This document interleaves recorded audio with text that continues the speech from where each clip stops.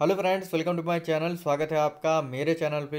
मैं हरप्रीत पटेल बात करूँगा आपसे इस वीडियो में सामाजिकरण चैप्टर पर आधारित महत्वपूर्ण प्रश्नों की। और ये हमारा पहला पार्ट है।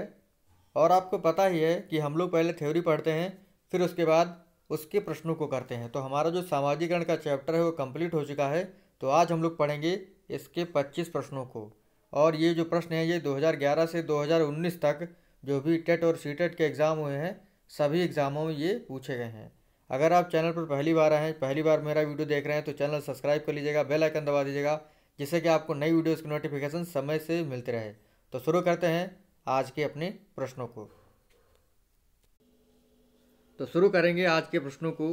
पहला प्रश्न हमारा, शिक्षा के संदर्भ में सामाजिकरण का तात्पर्य है। अपने सामाजिक मानदंड बनाना, समाज में बड़ों का सम्मान करना सामाजिक वातावरण में अनुकूलन और समायोजन, सामाजिक मानदंडों का सदैव अनुपालन करना।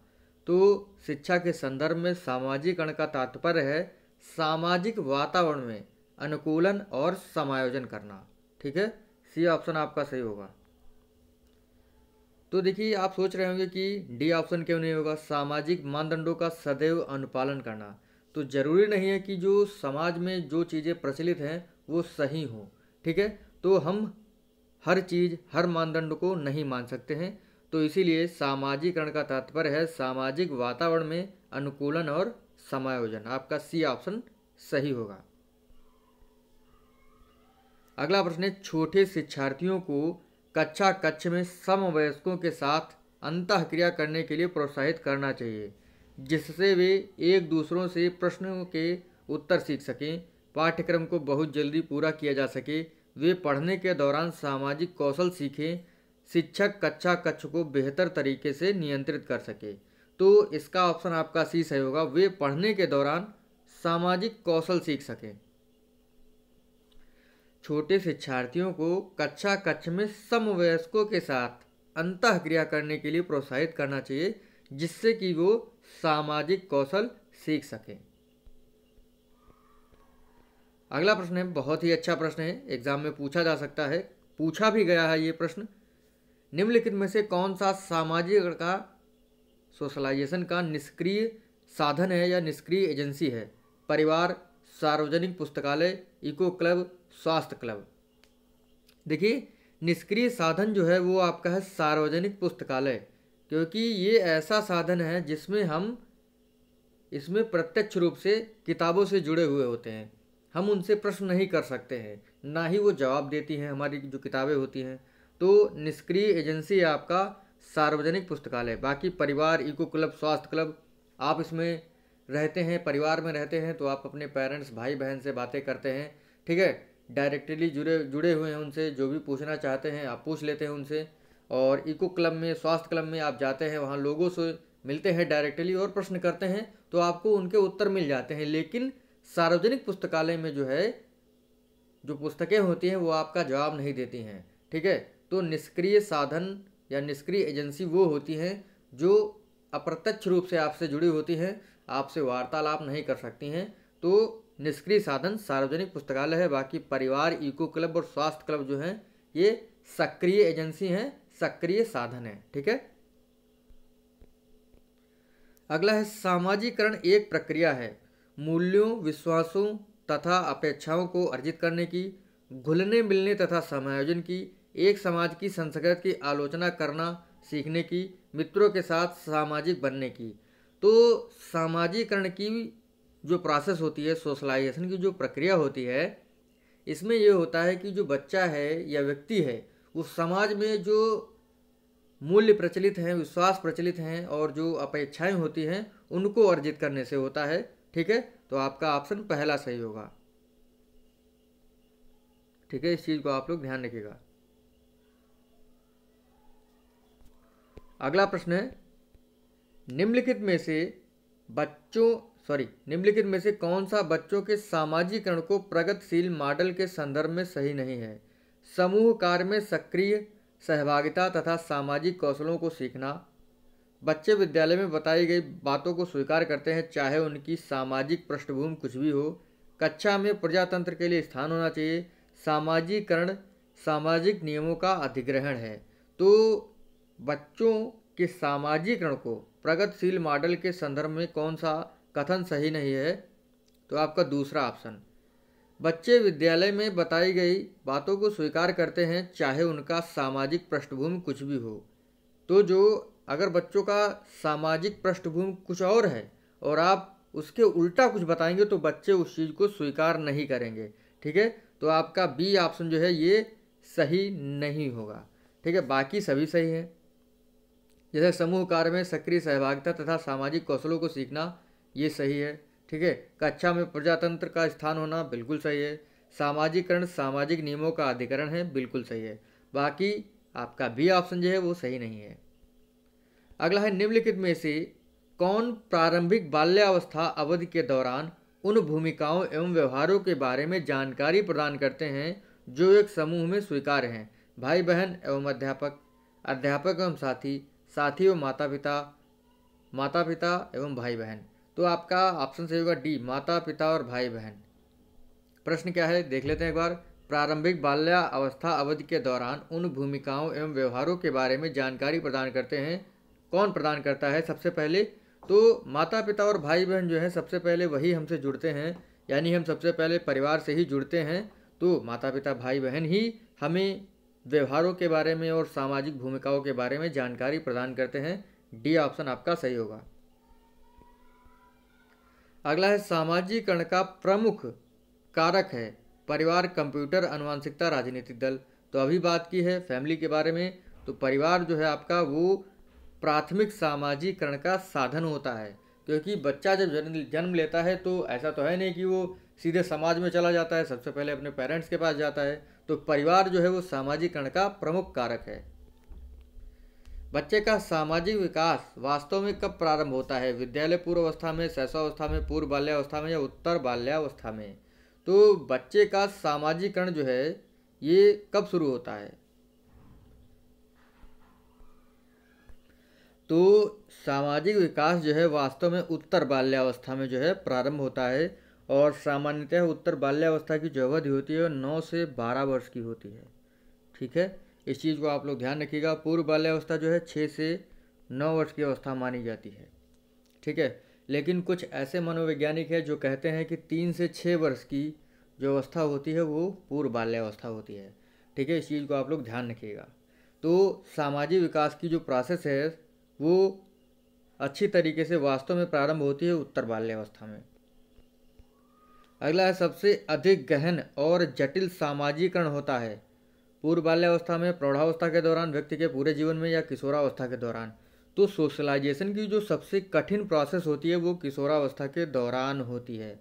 क्योंकि बच्चा इसमें जो है, काफ़ी कन्फ्यूज़ रहता है कि उसको समाज में क्या करना है, किस तरीके से वो अपनी भूमिका जो है समाज में निभा सकता है। ठीक है? उसको किस प्रकार से कार्य करना है जिससे वो अपनी पहचान बना सके, ठीक है? तो इन सब चीज़ों के प्रश्नों को लेकर जो है वो काफ़ी परेशान होता है। तो सबसे अधिक गहन, जटिल जो प्रोसेस होती है सामाजिकरण की, वो किशोरावस्था के दौरान होती है।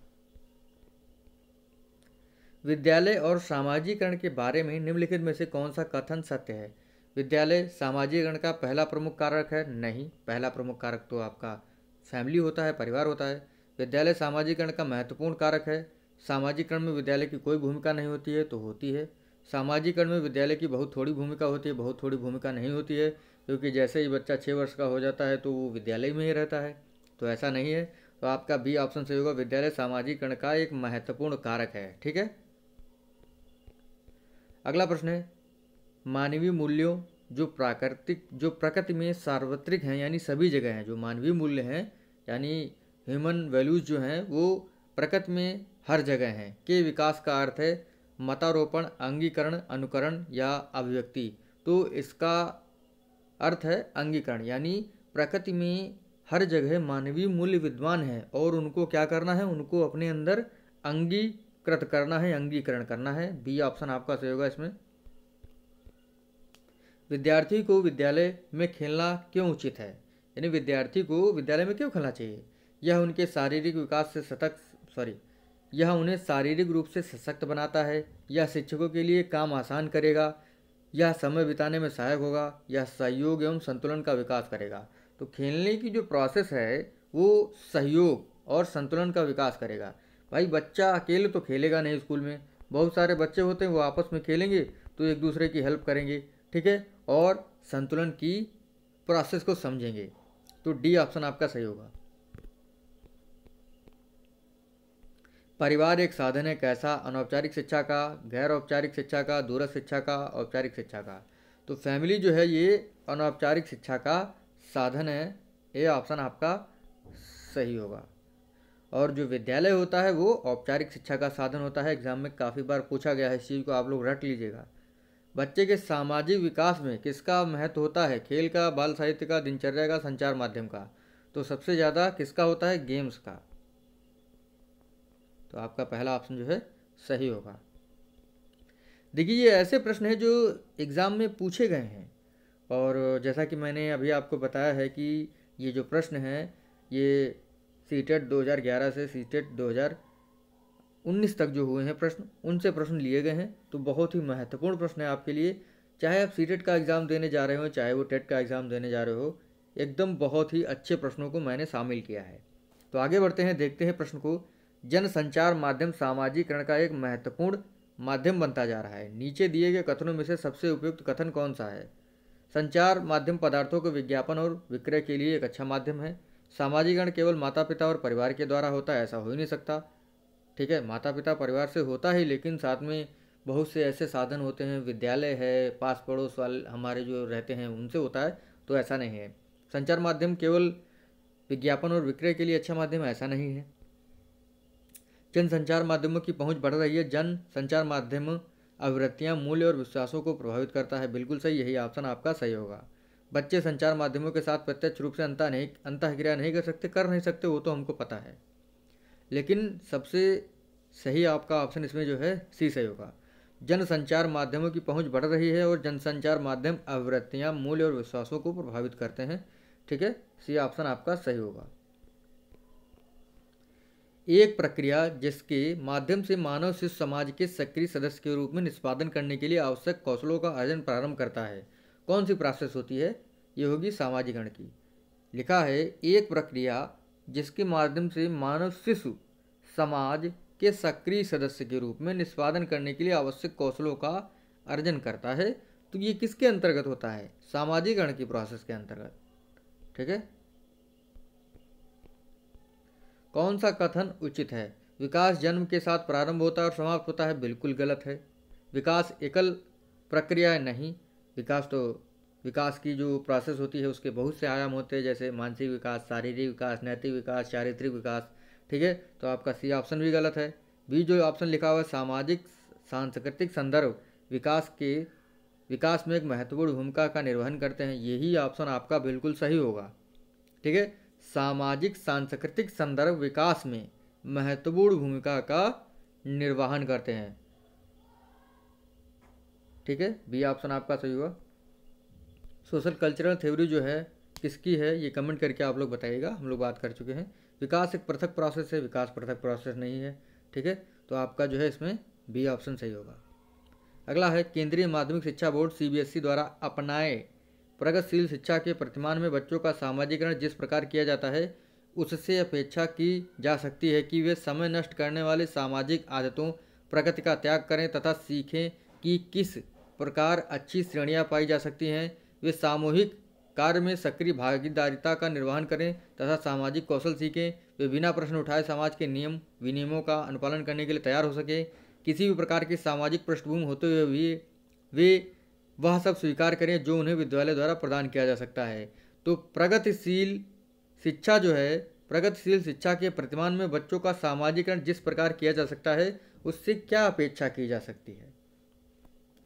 तो आपका पहला ऑप्शन है, वे समय नष्ट करने वाली सामाजिक आदतों, प्रकृति का त्याग करें तथा सीखें कि किस प्रकार अच्छी श्रेणियाँ पाई जा सकती है, ये नहीं होगा। वे सामूहिक कार्य में सक्रिय भागीदारिता का निर्वहन करें जिससे कि सामाजिक कौशल सीख सकें।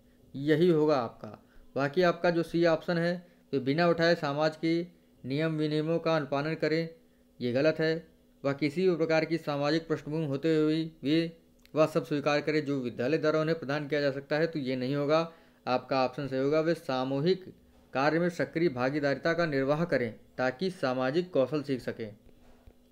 अगला प्रश्न है, जब कभी दो या दो से अधिक व्यक्ति एक साथ मिलते हैं और एक दूसरे को प्रभावित करते हैं तो वे एक सामाजिक समूह का निर्माण करते हैं। यह कथन है, आंशिक रूप से सत्य सत्य है, कदाचित सत्य है तो या असत्य है। तो ये क्वेश्चन जो है, आपका कथन जो है, ये सत्य होगा। मूल्यों के वर्गीकरण में सम्मिलित नहीं आध्यात्मिक मूल्य येन किन प्रकारेण, धनार्जन का मूल्य, नैतिक मूल्य सांस्कृतिक मूल्य। तो मूल्यों के वर्गीकरण में सम्मिलित नहीं आपका, बी ऑप्शन। येन किन प्रकारण धनार्जन का मूल्य, यानी किसी तरीके से धन को अर्जन करना, ये मूल्य नहीं है। बाकी आध्यात्मिक मूल्य, नैतिक मूल्य, ये सांस्कृतिक मूल्य, ये मूल्य है। अगला प्रश्न है, बच्चों के सामाजिक सॉरी बच्चों के सामाजिक विकास को प्रभावित करने वाला कारक है। आर्थिक तत्व, सामाजिक परिवेश, जन तत्व, शारीरिक तत्व या वंशानुगत तत्व। तो आपका ऑप्शन बी सही होगा। निम्नलिखित में से किसका मिलान सही है? शारीरिक विकास, वातावरण संज्ञानात्मक विकास, परिपक्वता, सामाजिक विकास, वातावरण, संवेगात्मक विकास, परिपक्वता। तो सामाजिक विकास जो है, वो वातावरण में ही होता है। तो आपका सी ऑप्शन इसमें सही होगा।